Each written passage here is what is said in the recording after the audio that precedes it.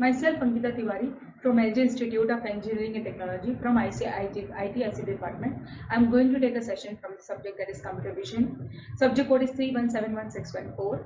The module that we are going to cover in this session is module number 3. That is the module name is feature detection. The topic that we are going to cover for this session is corner detection, line and curve detection.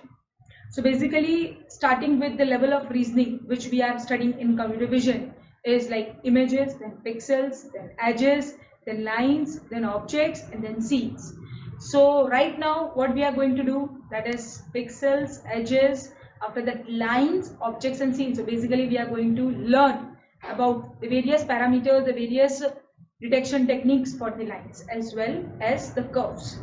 So starting with the lines while edges we can say edges are made up of with the respect of lines only but with respect to line they also have been made of curves so basically while edges and general curves that are suitable for describing the contours of natural objects we can say the man-made world is full of straight lines so detecting and matching these lines can be useful in a variety of applications including the architectural modeling, we can say pose estimation in urban environments, as well as we can say the analysis of printed document layouts.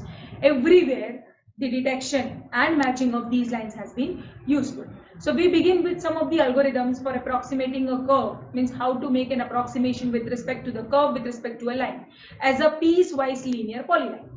So we then describe the Hough transform means it's a particular uh, scientist who had described it the transformation that is curve transformation line transformation which can be used to prove edges into line segments even across gaps and occultations so first method that we have with with respect to Hough the the Hough transform is being uh, derived with respect to successive approximation. So many techniques have been developed over the years to perform this approximation which is also known as Ursuline simplification.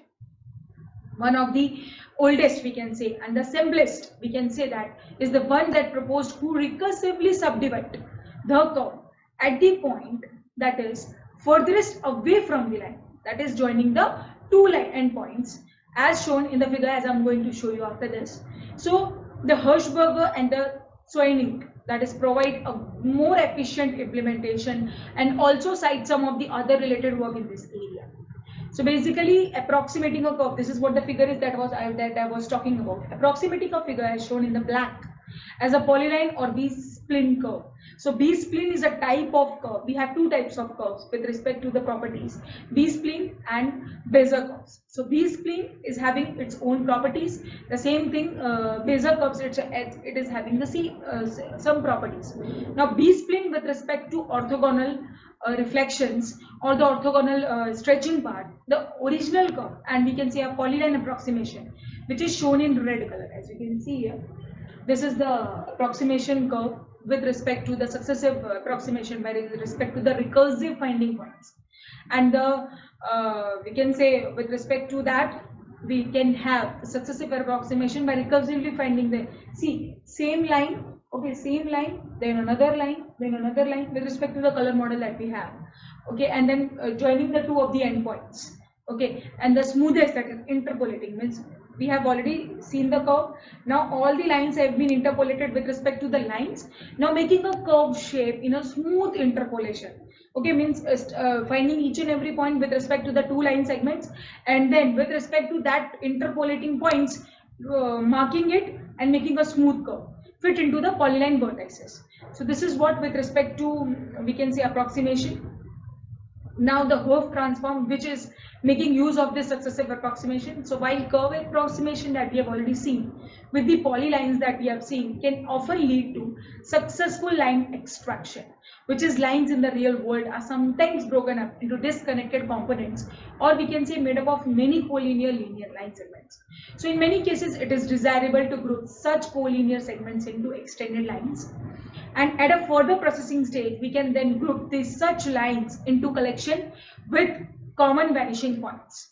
So we can say the Hough transform named after its original inventor that is Hough is a well-known technique for having edges that is vote for possible that is line locations. So in its original formation we can say each edge point that is votes for all possible lines through which through it. And also we can say the lines corresponding to high accumulator or the bin values that is that is means wastage values are examined for potential line faults so basically, unless the points on a line are truly punctate, means all the points which are we have put like interpolation points, we are putting it between the two line segments and joining the two points.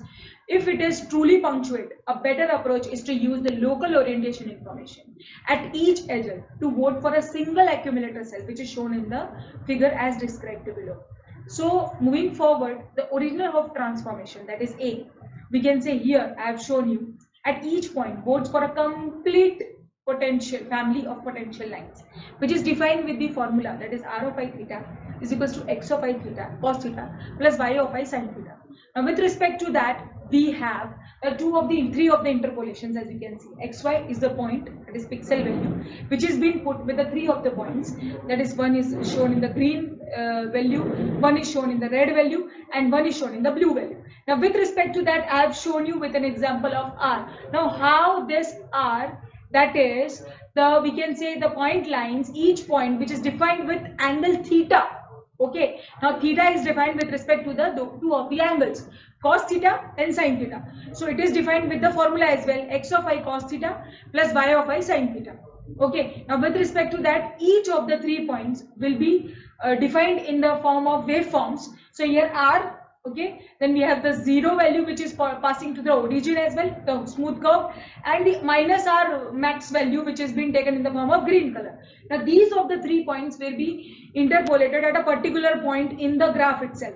So we will be locating these particular points at a particular box at a, at a point that is x and y with respect to the formula okay so uh, same orientation of the Hewitt transformation where an adjective that is adjective uh, reparameterized in polar that is r and theta coordinates with respect to n vector. Okay n is the vector which is perpendicular with respect to o that is origin. So n of i which is equals to cos theta of i comma sin theta of i which is and we can say r of i which is equals to n of uh, i and dot x of i so here b that is uh, the second of the orientation as you can see. The same figure i have shown you but with, but with respect to the three of the angles that we have made okay that is xy point with respect to r okay and the straight line with respect to h okay now this is being uh, parameterized with the three of the points. Now the waveforms which has been shown okay the three of the waveforms was meeting at a particular point. So with respect to that point we have derived the three of the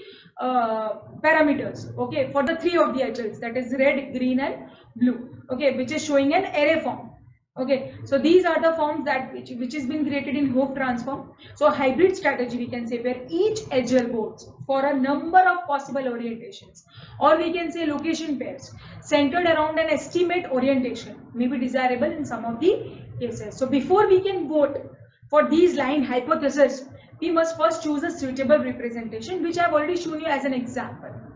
Okay so figure shows a normal distance n with parameter as d for a line. So since these lines are made up of edge segments, we adopt the convention that is the line normal n, n is the normal vector point in the same direction. We can say that is having the same sign value as the image gradient that is j of x is equals to delta of i of x. Now with respect to that, here we have been shown you the two line uh, equation expressed in terms of the normal n and the distance to the origin that is d. Okay, so here I have shown you with an example with a line that uh, we have quadrant that is with respect to theta x and y axis and we have normal vector n which is perpendicular to the line L. Okay? Line L is defined. To the line L n is n will be always perpendicular. It's a normal vector which will be always perpendicular to the line which is defined. But like joining the two of the uh, endpoints okay? Which which we can say as a line segment. Okay? Because whenever we are considering a line we always take the two endpoints joining the line so that it is being uh, specified as it is a line okay and we are uh, taking it as in consideration as a line segment okay so this is what the 2D line equation is with respect to the form. To obtain a minimal two parameter representation for a line, we convert the normal vector into an angle. Okay. What angle is? The angle is defined with the range of possible that is theta d.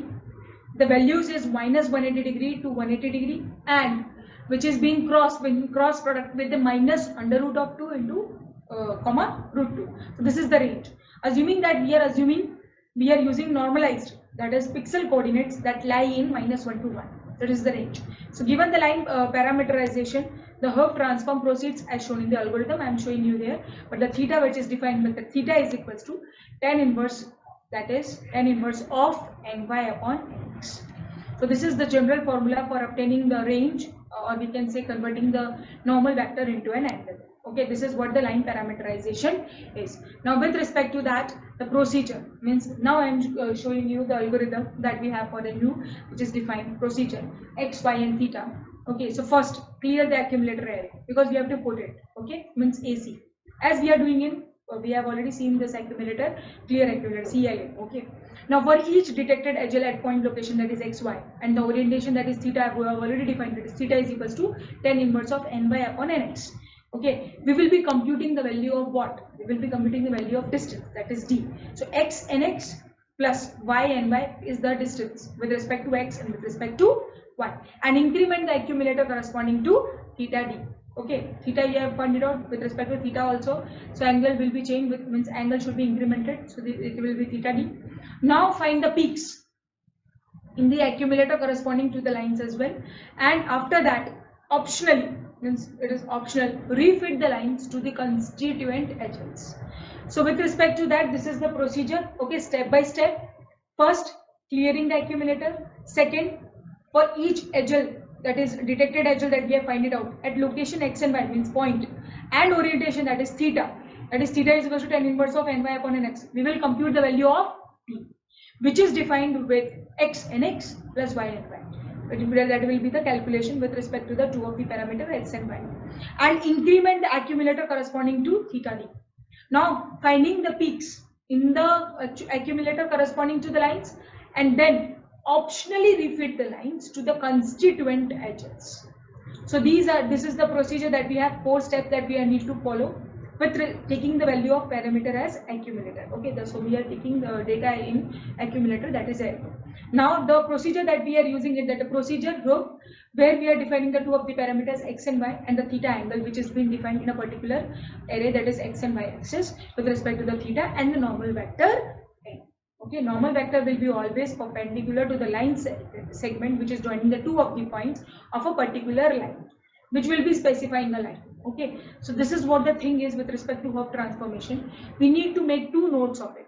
Okay note that the original formulation formulation we can say that we have already put of the Hough transform which assume no knowledge of the edge uh, orientation that is theta has an additional loop inside the step 2 the that step that we already see means additional means the edge orientation theta that we are finding with respect to the theta that is theta is equal to tan inverse of nx upon ny so the same thing will be applied to here as an additional loop for the step 2 that iterates over all possible values of theta because what we have uh, written in this step 2 and then increment the value with theta d okay? So that we will iterating uh, iterating means we have to iterate it over all the possible values of theta and increments a whole series of accumulators. Okay incrementing it then updating it. Then incrementing it incrementing it and then updating it. So this you have to do it till all the possible values of theta have been applied and the series have been generated of the accumulator as well.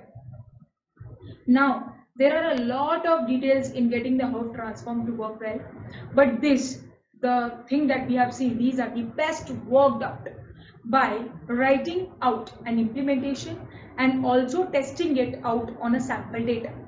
So these are the things that we need to keep in mind and always we have to uh, uh, form the formation of the Hough transform where the theta is been defined where the angle is being defined with respect to the uh, the two of the parameters is been defined so these are the parameters that we have to keep in mind whenever we are doing the calculation with respect to x and y and with respect to the d that we have already found with the normal vector n so these are the things that we need to keep in mind for the Hough transform Hough transformations and which has been applied for a particular uh, uh, orientation with respect to theta and with the edges to make the curve and we have also seen the B-spline curves properties which we have already discussed. So these are the things that we have discussed so long and here today uh, we have uh, completed with the line detection that is Hough transform. The other transformations we will be going to study in the next session after this. Thank you.